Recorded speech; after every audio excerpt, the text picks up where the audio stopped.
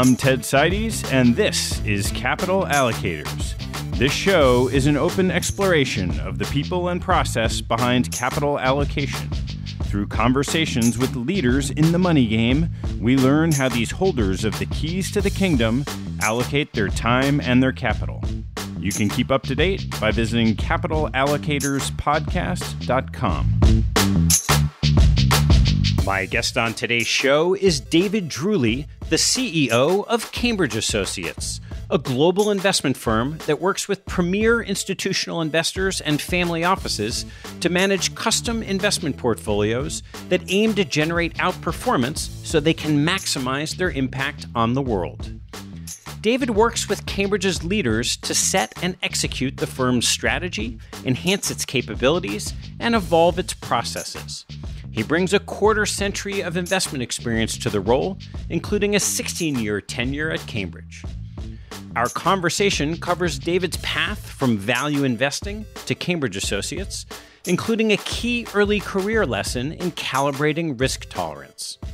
We discuss the history of Cambridge Associates, key characteristics of generating great investment returns, the manager selection process, and David's take on co investments, long only managers, hedge funds, fixed income, innovation, and future opportunities and challenges for the business.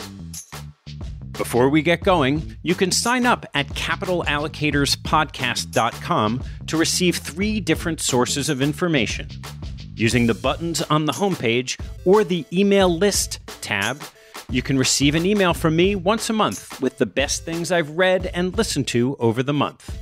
While on that page, you can also sign up to receive our blog of industry news. Lastly, hop on the Premium tab and subscribe to get access to the library of transcripts of podcast shows. Feel free to forward the emails you receive to friends to help spread the word. Please enjoy my conversation with David Druley. David, thanks so much for joining me. Yeah, it's great to be here. Well, let's just start at the beginning and how you got started in this business in the first place.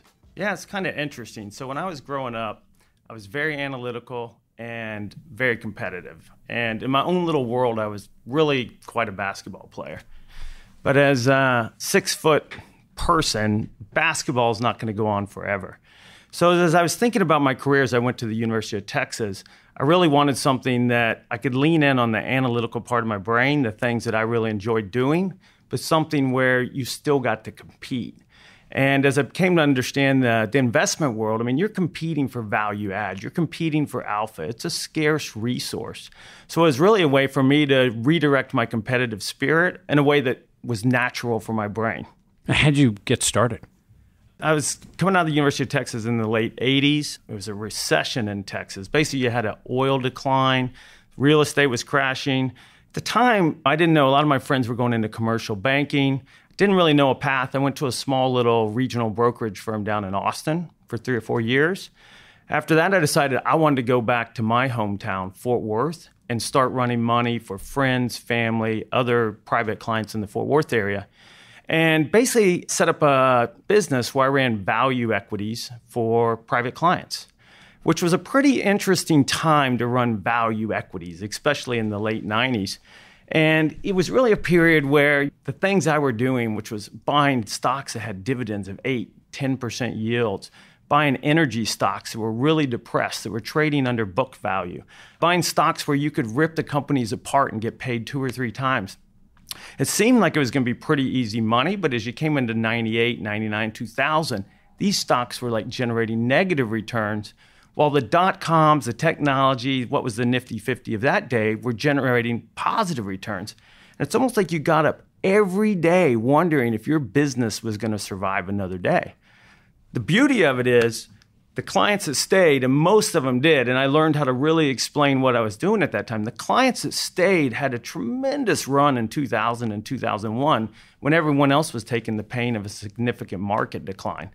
That said, I will say one of the main lessons I learned from that time is that your risk tolerance has to be the lesser of my risk tolerance and time horizon or the asset owners.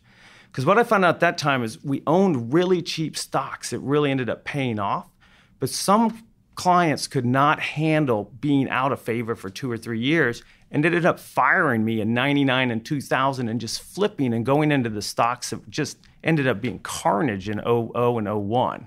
So it's really not my pain threshold or time horizon, it's the lesser of mine or the client. And this is something I kind of took over as I went to work at Cambridge Associates and started working with clients there. So just on that point, right, that period of time, Julian Robertson folds up Tiger on the same pain threshold issue. What was it in the message that you delivered that resonated for the ones that you were able to keep? The message was really consistently explaining what we were doing, what I was trying to achieve, why we thought these stocks would work out. And people inherently understand that buying cheap assets is better than buying expensive assets. But you have to remind them the asset's cheap. Here's why it can stay cheap for a good while. And ultimately, it comes down to confidence that I knew what I was doing. So a lot of that confidence is built over just relationships, trust, time.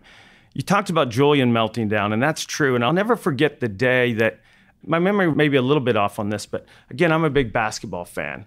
And my wife and I used to go out to Vegas to go to the sports book the first weekend of the NCAA tournament just to watch all the games. It's a phenomenal event, really.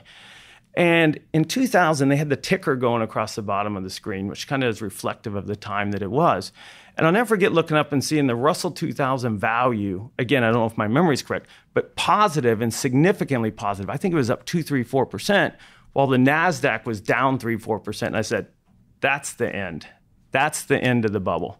And it ended up being pretty close within a week or two, probably the top of the NASDAQ, and started a pretty tremendous value rally at that point. So you roll forward, and the clients that stay with you had a great experience from there. How did you get from there to Cambridge, which you mentioned? Yeah, so in 01, after we started to get paid back for all our hard work on the value side of things and the clients were whole, I started thinking, I really want to go and do something bigger.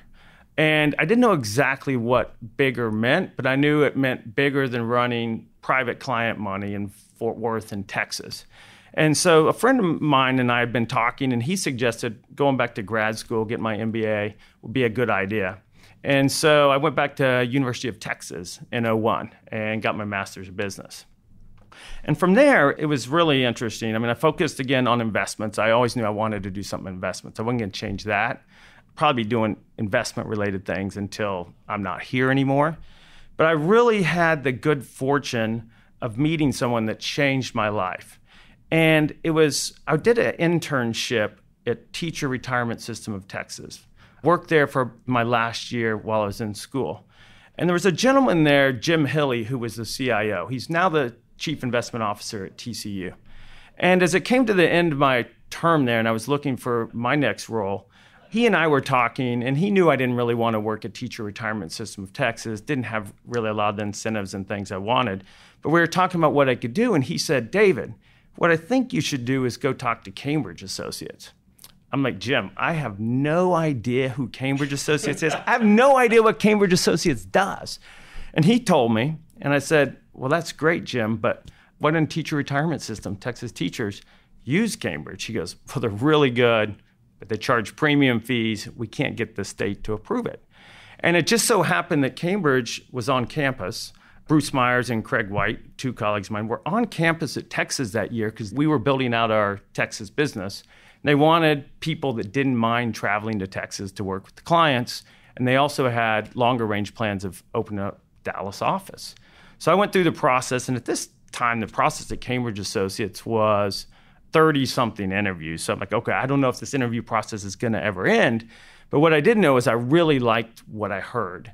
What attracted me to Cambridge Associates was really three things a great platform to invest institutional capital for clients that were making a difference in the world, what appeared at the time to be really nice colleagues. And the third thing was no conflict. I wasn't going to have to push product, which was very important to me. And to this day, we still have no product, which is still important to me and it's important to my colleagues. So let's circle back to you hear about Cambridge for the first time, kind of the history of Cambridge Associates as an organization, and take me through to when you joined, and then we can roll forward to what's going on today. When I joined, it was a bit of an inflection point, I think. So Cambridge started out as an advisor, as a consultant, Jim Bailey and Hunter Lewis came out of Harvard, wanted to take what they learned. They thought the endowment offices weren't really implementing best practices. So went out and basically formed a business to serve Harvard and the Ivy Leagues and, adv- and advise them. That's back in the mid 1970s. And so they started the core of their business was consulting, and they grew that business over time, working with more endowments and foundations. Started working with private clients, and really the private client thing. Some people think, okay, that's kind of odd to to shift from institutions to private client. But what happened is a lot of these really wealthy individuals that had family offices were sitting on the boards of the committees of our endowments and foundations. And they said, Come on, Cambridge, you're helping my institution make a difference in the world. Why don't you help me? And so we did that. We've been working with private clients for about 40 years, then started working with pensions a little bit later in the late early and early 90s. And for the vast majority of that time, the business was traditional consulting. We'd do strategy, we'd give options, we'd, we'd partner with committees. But what happened in the late 90s and the early 2000s is people started to recognize look, running money with four quarterly meetings and not having people like managing the portfolio daily, that's not going to work. This is too complicated. And I think the crises really highlight these things the, the tech bubble bursting. And so our business started to morph to where people wanted to outsource the day to day due diligence of managers and oversight to Cambridge Associates. And that really started to take hold in the 90s, in the mid to late 90s. And by the time we got to 2005, over half of our business was outsourced. And when I say outsourced, that's either discretionary or non discretionary, but it really doesn't change what we do It doesn't change the fact that we're on the hook for the diligence, for saying what should go into the portfolio, for managing risk, for just day to day oversight. The only difference is non discretionary outsourcing, there's a committee or a person who has veto power, who has the right to say, that idea, I don't think it really should go in the portfolio, go do some more work and give us another idea, which doesn't happen very often. And what was your trajectory at Cambridge from when you started? So, from the day I started, it gave me a really global perspective. But from the day I started, I worked from clients from Geneva, Switzerland to New York to Texas. I worked with private clients, I worked with endowment and foundations, I worked with some of the most sophisticated family offices. So when I started, I was working on teams that were actually serving the clients. Over time, I started to see that there was a gap or a space where we could probably go out and build some business by combining what we do very well, which is manager selection, diversifying portfolios, investing across asset classes, including venture, private equity, equities, but also putting in place a risk management framework that was unique to pensions. So we had some pension business, but it wasn't a big business for us. And so I started to build that business, and leadership at the time came to me around late 08, early 09 and said, David, We've never had practices. Everyone works on everything, but we'd like you to focus on the pension business. And we'd like for you to start the first practice at Cambridge. It was informal, but it was the pension practice. They said, Tell us what resources you need, tell us what team members you need, and let's see what we can make out of that. If you flash forward to today, pensions are about 20% of our business. So we gained great traction actually in the pension community by bringing our alpha engine with a unique risk management platform that actually, you know, pertain to the pensions. So you start running this pension practice, and again, you're now working with clients yeah. as their consultant or effectively their outsourced investment engine. Today, you sit as a CEO. So, what was that transition from investor to sort of the head of the business? The one point I'd come back around to on the pension thing is we focused on OCIO outsourcing. So that was where I thought we should focus the business because I thought that'd be the trend in the future, not just for E&F, but pensions. So circling around today, it's less being in the weeds, going out and finding ideas or managing portfolios. It's about thinking about the institution as a whole. So thinking about how are we going to deliver top notch returns and top notch service and partnership to our clients.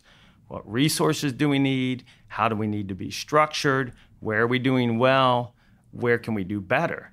And if you think about like the metrics I look at today, it's still investment returns. And it's investment returns. I still work with a handful of clients. It's still the investment returns for those, but it's the investment returns for our clients in aggregate, understanding what's going well and what's not. And it's also partnership. So, looking at our client retention. One of the things I'm proudest of is our client retention is 96, 97% invariably. we're doing a great job. Our average client's going to be with us 20, 25 years. And that's really meaningful to us because we want to help these clients do good in the world. We have so many great institutions that are doing great stuff, or great families that are so philanthropic. So, when you're serving so many different types of pools, and then we have pensions, and endowments, foundations, high net worth, family offices, if you were going to go out and pitch for a new business for a new client, what's the Cambridge Associates pitch? The pitch, I would say, is look, to generate the best returns, one, you need to diversify, you need to be equity oriented. The second is you need to be able to go out and find managers that add value. And we know from 45 years of doing this what it takes to go out and do that. And the first is network. You have to be in the flow of ideas, and you have to be in the flow of ideas early. So that's why we have 11 offices across the globe with 275 senior investors that are out there in the flow of ideas. You got to have elbow grease. You got to be able to do the work. The work is labor intensive. Again, that's why we have a senior team of 275 people. And the third is you got to have judgment. So that's why our team of senior people, on average, has 18 to 20 years experience. You take these three things, and it allows us to go out and do 6,000 meetings a year across the globe, across asset classes, be early to ideas, secure better fees, secure access, and get client money in. The last thing I would say on that is, the last two things, what allows us to succeed is the investors work with the client. So you don't get a client service rep or an investor relations rep. The senior teams work with a couple handfuls of clients and create bespoke portfolios for what the client's trying to do. And the last thing I always say is I could still mess that up if I had conflicts in the system which is why we don't have product. When we sit at the table with a client, with an asset owner, they know that anything we're trying to do is on their behalf. We're not trying to sell them product, the fees we make, or the fees the clients pay us. We don't take any money from managers either, which is somewhat unique in our industry. So there's 275 investment professionals, 6,000 investment meetings. Yeah. How does that form into a cohesive decision making process? Right. So if you think about the investment professionals, the network's crucial because you got to look at a lot of ideas. We think about the 10,000 plus managers that are out there. There's a few percent that actually merit any of the capital of our clients and asset owners. So what we do is we go out and source the ideas and then we take them through a very consistent diligence process at Cambridge Associates. And then there's groups of senior people that form committees in our firm that actually vet the ideas for quality of diligence and quality of idea. So every idea that we're putting capital in has gone through that process. Now, a lot of the ideas, because they don't merit capital, fall out of the process very early. And one of the important things of experience is pattern recognition. You can understand early in discussions whether the manager has an edge, whether they're putting the right team on the field, whether they have the right operations in place. The one thing I will say is that I'm very focused on, and if you're in a talent business, I think you have to be focused on is making sure that our networks are as broad as possible. So one of the things we've done is we've brought in a head of diverse managers to make sure we're expanding our network, to make sure that we're seeing all the best ideas regardless of where they come from. That's on the manager side we're also doing it on our talent side. Again, if you're going to win, you have to have access to all the best talent, not just to some limited networks or some limited pool of talent. And so we're really pushing the envelope on making sure that our view is broad when we recruit and our view is broad when we go out and find and identify and evaluate managers. So let's take a single manager that makes it through that process. Yeah.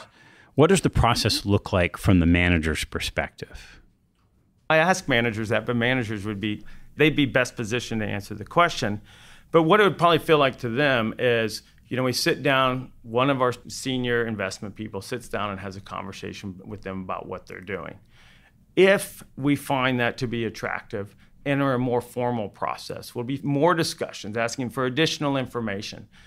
That's on the fundamental side, you know, understanding how they invest, where their edge is, what we can expect out of the portfolio. The second part of that is operational due diligence. Do they have the right infrastructure in place? Background checks, understanding who they're partnering with as part of third party vendors.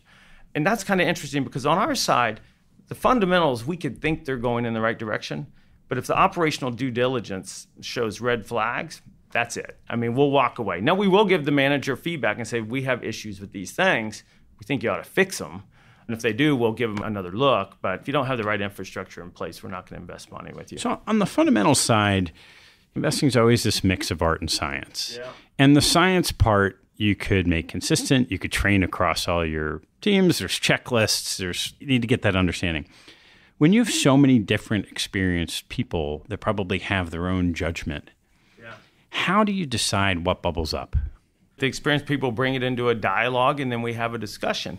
And you can say, I think this is a good example, really, of diversity of opinion generates better outcomes, right? Having people that think about things differently or have different experiences will result in different ideas bubbling up and it'll result in a more rigorous discussion. And then ultimately, we'll come to a decision on whether to move forward with the full manager diligence and whether to put capital with it. And how many people are involved in those with any one given manager? There could be 10 people involved in those, 10 or 15 people. And everyone, I mean, we have an open platform. So this is really a great thing. If you want to be involved in that discussion and you're on the senior member of the team, you can be involved in the discussion because we are open. We're sharing our notes real time, we're sharing our meetings real time. And again, we think that's a benefit to have more people involved rather than less. I mean, the thing you have to guard against is stuff getting stuck, right? So we work really hard to make sure that stuff doesn't get stuck from process, that it's getting pushed forward. And the senior people that oversee the committees, that's really their job, is to make sure stuff's moving forward, either moving forward and out or forward and into portfolios. And then structurally on that research side, you've got OCIO teams. I guess you still have the traditional consulting. Is there any differentiation in who's involved on the research side, or does yeah. it all come together? The senior people are involved, and they could be coming from the OCIO side of the shop, or the consulting side, or the non-discretionary portfolio management. But everyone has an equal say. Everyone has equal access to the information. Everyone has equal ability to deploy capital into the managers. How are you thinking about investment strategy for your clients today and how they should be positioning in these markets? The tough thing in these markets today is that we're 10 years into a bull run, 10 years into an economic expansion. You have pockets of assets that are richly valued. We think US equities, sovereign debt. I mean, I just saw a figure and I can't remember what it was, but it's trillions and trillions of dollars in debt that's paying negative yield. I mean, these are not normal times or normal valuations. So the things we're thinking about is how are we going to generate the returns that our clients need to fulfill their mission or their pension obligations or for private clients to fulfill what they're trying to achieve when you have significant pockets of the market that are overvalued. The thing I would say is we continue to redirect more and more energy into the private parts of the market.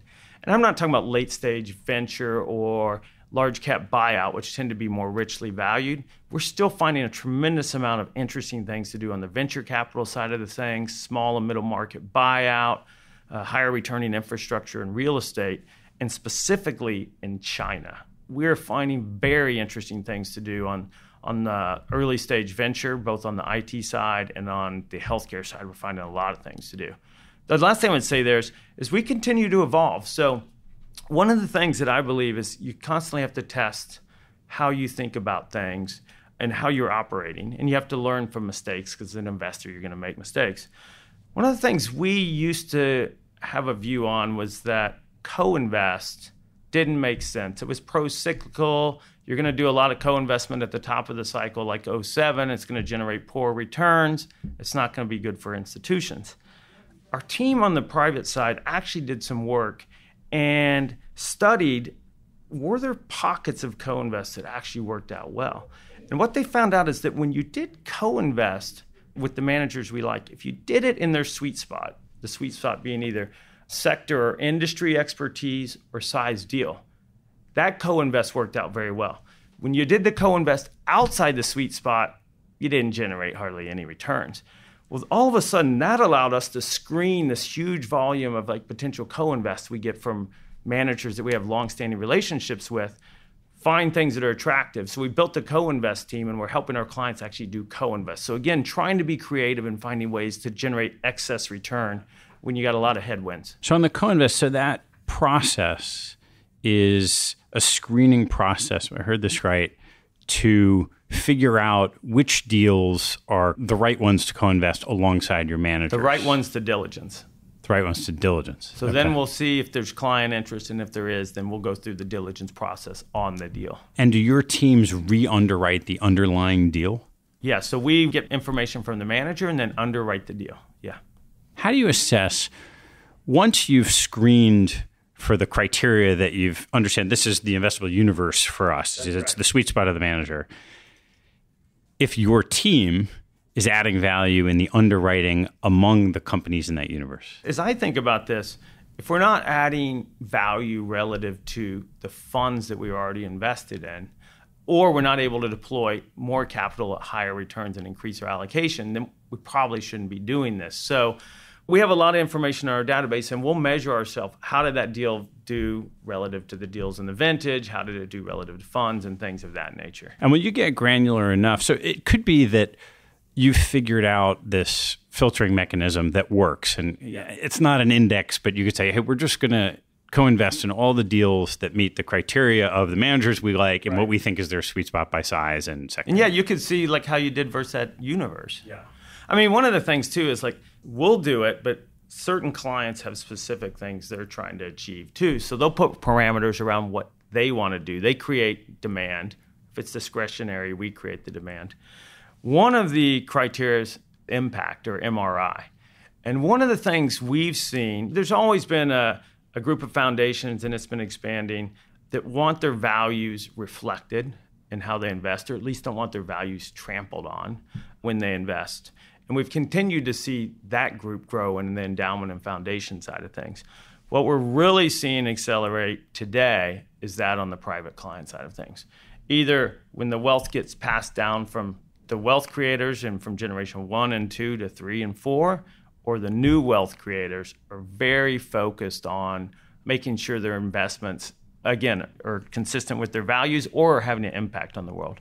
And this is an area where we've built out a team of 30 plus people to help work with our clients on that. And it's as big as it is in the US, it's even a bigger deal in the UK and Europe. So again, though, they're co-invest. They're going to look for certain things or certain industries that meet their values. When you're considering the impact portion of that mandate, how do you think about that in the context of what's generally been kind of an asset class driven asset allocation structure across the whole pool?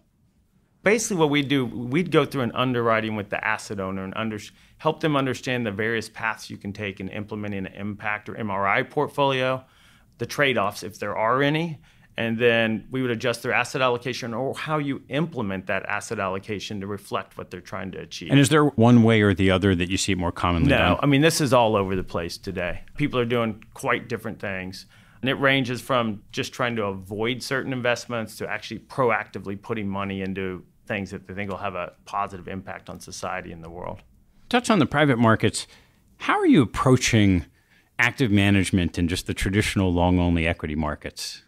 You know, it's interesting. We are still finding the ability to generate significant value add in the liquid markets, specifically the liquid equity markets. There's pockets of those markets which are harder to generate value add, but in the most part, we're still finding the ability to, to find managers that actually execute very well. Are there certain types of managers you prefer, certain characteristics of those managers? It actually varies by market. So we would tend, in many cases, to have a bias towards concentrated, high conviction managers. We can diversify out their idiosyncratic risk. And we've had great success in identifying those managers. But there's certain markets where kind of these 130 30, beta 1, restricted tracking error, constrained tracking error strategies work very, very well. So again, we're open to any type of strategy as long as we can understand what the drivers of value add are. And as long as we are able to continuously monitor and evaluate those managers to understand if their edge is still in place.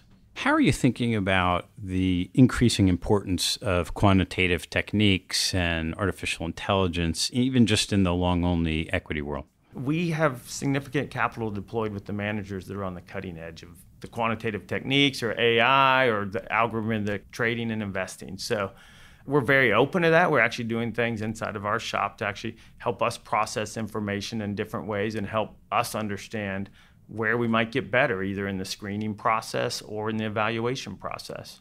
What's your take on hedge funds today? So it's a it's a loaded question because the industry at large has not fulfilled its promise. So I think we could agree to that.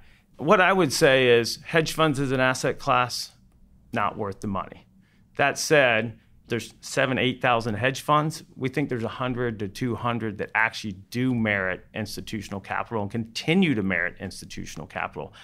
If you don't have the confidence you can identify those or access those, I would say you shouldn't have a lot of money in hedge funds.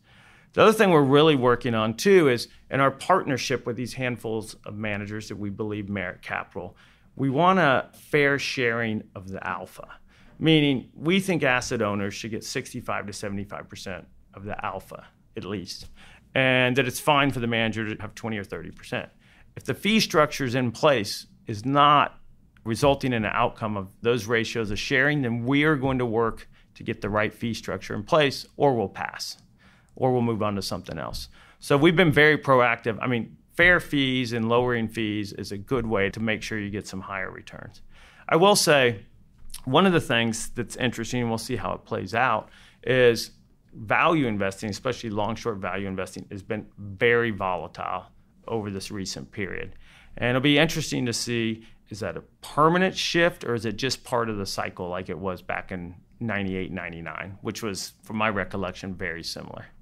When you look at that landscape and pretty common. Uh, someone will say, "Oh, there's 100 or 200 managers that really add value." markets are pretty efficient. Markets for talent are pretty efficient. And then the other side is, oh, we want to have fair fees. Where does the rubber meet the road when you have the desire to access managers that likely are in demand because yeah. there's some demonstration of value add, and then wanting to get a fair deal on fees when the fee is really kind of a matching of that supply and demand? Yeah, well, I mean, fair really is fair relative to the value that can be added if the capacity is difficult in the manager because of their ability to add significant value, then there might a higher fee structure may be justified. If it's not, then we need to move on. There is a spectrum there. Some of the best performing managers and some of the longest tenured managers that we invest with, we've actually found good partnership in aligning terms and fees with them. So, you know, I think the good partners and the good managers in the world want to be good partners to the asset owners as well. And one thing we don't hear as much about anymore when people are more focused on fees is is the degree of transparency or opacity in some of these strategies. And where are we today and where are we moving? The bottom line is we require transparency so we can understand what's driving returns, how the returns are being generated, is it alpha or beta? So if it's ill transparent, we just don't go down the path of investing. Now, we've probably missed some good managers in that case, but that's just kind of one of our foundational beliefs and tenets when we invest capital for clients. And then what degrees of depth does that mean? Because some of the stuff you talked about is sort of structural as opposed to kind of position level transparency. The managers give performance attribution. So we get attribution from all of our managers. What were the big return drivers, relative and relative and contributors? some of the strategies are more structural. So clearly, no one's going to give us an algorithm, if you will, but they'll help us understand what type of inefficiencies they're trying to isolate, what type of process they have to do that, what type of process they have to refresh the algorithms or bring new models into place to generate the returns. On the fundamental strategies, I mean, we get the book. How are you thinking about fixed income markets? You would think that fixed income, well, if you're asking about valuation, fixed income is rich spreads are a little bit tight. You have to be in some of the more complex instruments to actually find, I think, interesting risk return opportunities. On the value add side for managers, we still find the ability to add managers to add value in high quality fixed income. That said, on our endowment and foundation clients, our private clients, they're not doing a lot of treasuries or corporate credit. It's more on the pension side for some of the de risking strategies. But we're thinking about the same way. Valuation based, what role does it play in the portfolio? Can it be a hedge against deflation or recession? And then can you add any value through manager selection? You talked earlier about the importance of innovation. Where are you trying to innovate on the investment process? The things we're constantly doing, and one thing I believe in is to evaluate how you make decisions and how you bring people to the table. And it's not like AI or it's not like big data, which we have a lot of big data and we're constantly looking through that data to find edges and help us understand where managers can add value. But one of the things we've worked at is making sure that we understand the biases that are in decision making processes, understand how to create an environment where we can hold each other accountable for our biases. And you know, Daniel Kahneman, who really is one of my intellectual idols, and Kahneman and Tversky, I think were just brilliant, brilliant people. He makes a case often that by understanding we have biases, we can hold ourselves accountable, but that only gets you a little bit of the way there. You have to create an environment where you can hold each other accountable because you're going to have a lot better shot at seeing my biases or helping me see my biases than I am on my own. And just on that front, I mean, I think the work that is so powerful in grad school, we didn't have a class on behavioral finance. So I went to the head of the department and said, Hey, I think this is missing. Let me design my own class and spend a semester uh, as a class studying Kahneman and Tversky's work, and then I'll come back to you and help you understand how you can how the student run investment fund can put in place processes and decision making bodies that'll work better and proposed criteria for you to use moving in the future. But I just think that's crucially important because 30 years ago, data was scarce. And I remember when I got in the business, sometimes you'd have stuff overnighted to get information quicker. I'm swimming in information. Our team's swimming in information now. It's not so much what information you get, it's how you synthesize that information and how you make decisions that's the edge today. So I, I just think understanding these dynamics and how the human mind work is really important. You head off the conversation talking about how passionate you are about competing. Yeah. How do you think about Cambridge's business through the lens of competition? It is really interesting. So on the endowment and foundation side, as I think probably most of our listeners know today, we have significant market share. In most cases, we're 50, 60% of the market. And the competitors we have there tend to be boutiques, tends to be the large pension shops that are trying to come in and build some endowment and foundation business. So a Mercer, Aon, Towers. Or it's the CIOs that have spun out of the endowment or foundation offices and started their OCIO shops. There's your competition there. On the pension side, it truly is the big three and a few others. It's Aon, Towers, and Mercer. All these shops have their qualities and their good points. And then private client side is just very fragmented. No one has more than 2% of the market. It's boutiques, it's multifamily offices, it's banks. So it's really interesting that our business, the competition is really different everywhere. And what I've described is basically the US and Western Europe. If you go to Asia, the competitors kind of change a little bit as you get over there too. So very, very different. As you look out over the next five or 10 years, what do you think are the next steps for Cambridge Associates? We're constantly going to be focused on making sure we have the right talent in place to generate great returns for our clients and to be great partners. So, five, ten years, that's not going to change. What I think will change is that our footprint in Asia will expand for multiple points. One, because there's just a lot of interesting investment ideas over there, and we already have a good team over there, but that should continue to expand as we continue to look for great ideas, specifically in China venture and growth equity. But also, I think our business will expand in Asia. What's going on in the private wealth market in China today is that the entrepreneurs or the business owners are starting to think about what happens as they age or as the next generation comes into play they're looking west. They're coming and visiting family offices in Western Europe, the US, and those family offices are saying, This is how we're structured. You should go talk to Cambridge Associates too. So our business is really gaining some traction there as the private clients become more institutional, if you will, and start to put in place the infrastructure. We've had this long period of time where, certainly in the public markets, Vanguard's growing like crazy. There's a big move to passive investing. Yeah and it's been hard to keep up. Right, hard to keep up with the S and P, hard to keep up with the 60-40 over the last ten years. How do you think about that sort of existential question of is all this effort worth it? Well, first, I think the question would be answered two ways. In aggregate, of all the people going through the effort, is it worth it? No. Because we know that after fees in aggregate, it's going to be a negative return relative to the index, if you will. That said, that doesn't mean it's illogical for us to actually go after this if we can actually generate extra returns for our clients. And how I think about this, the move to Vanguard or ETFs or passive could totally be rational for the majority of institutions or asset owners that are doing it. And it could still be rational for us not to do it with our clients if we're generating significant value add. So, my job and the job of my team is to continue to evaluate whether we are and whether we think we can do so in the future.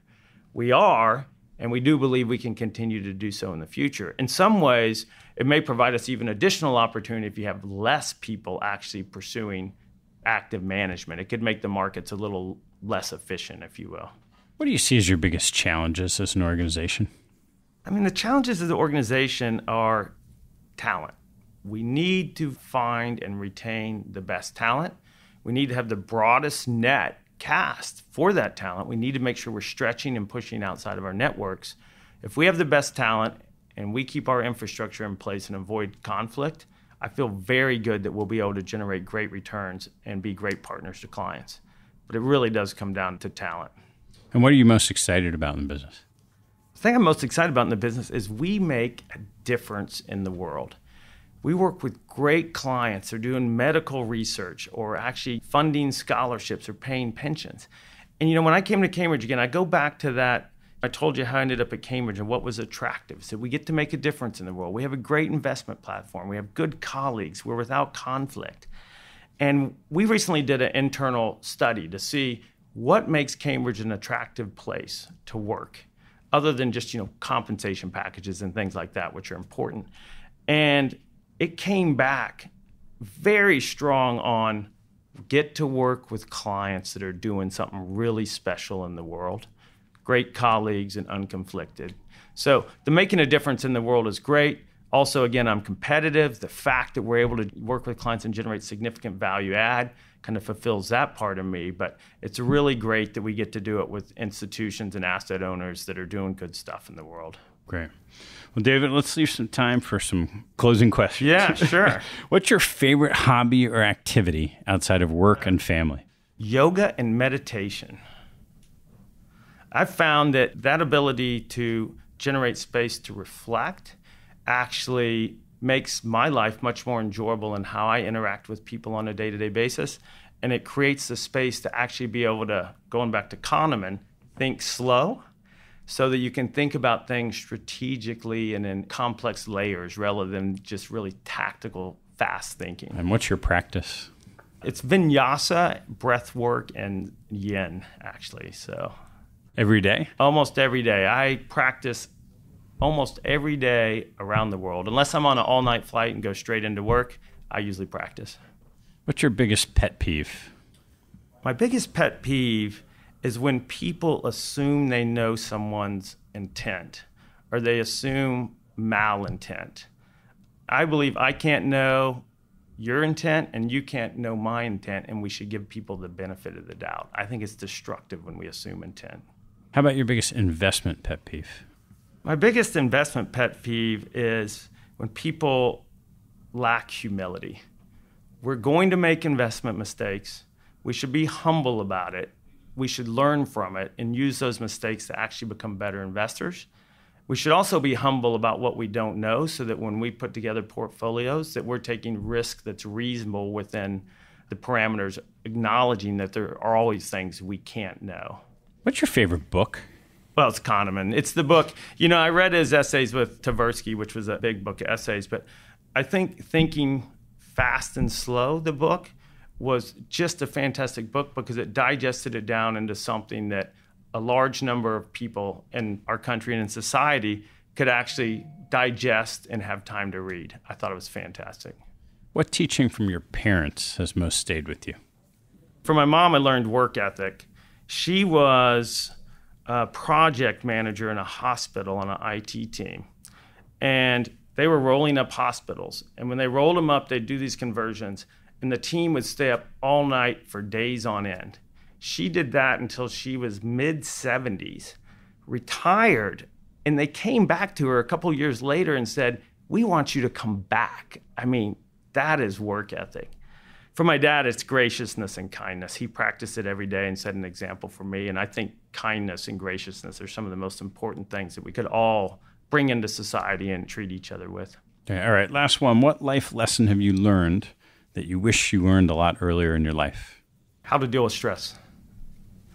I wish I'd known that from going back to uh, teenage years, but it's really interesting, you know, and it's really, yeah, I think about it in the form of yoga and meditation and breath work. But once you learn how to deal with stress, it actually creates a much different life and it allows you to interact with people differently. Yeah, you mentioned yoga, breath work. Yeah. Are there other tools that you've come up with that help? Oh, exercise, being present when you're with friends and family, you know, just being really mindful and conscious about what you're doing and where you are. Great. David, thanks so much. Hey, thank you. I really enjoyed it. Thanks for listening to this episode. I hope you found a nugget or two to take away and apply in your investing and your life.